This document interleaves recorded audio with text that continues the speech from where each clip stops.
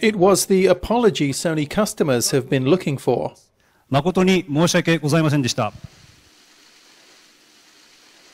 Ten days after the PlayStation Network and Qriocity services were taken offline, Sony executives, including the head of its gaming division, apologized on Sunday for the potential loss of personal information on millions of customers. The attack on Sony servers in San Diego saw the probable theft of names, addresses, birth dates, and login details for the two services. Sony took them offline on April 20th after the intrusion was detected. Computer security companies have been analyzing the attack, and its extent is still not clear. It could affect all 77 million accounts.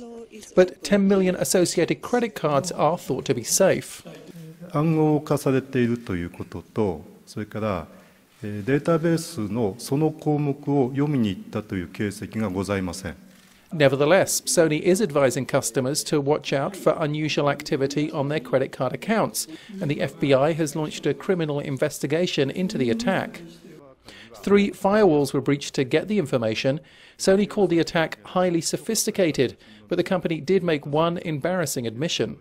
今回の脆弱性はですね、機器の脆弱性でございました。The PlayStation Network and Qriocity service will resume in stages beginning this week, with online gaming and music streaming coming first. Customers will be asked to change their passwords when they log in. Full service is expected to resume by mid May.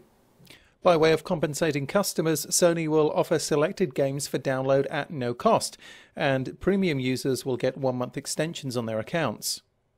The attack comes as Sony is trying to build up its network based services.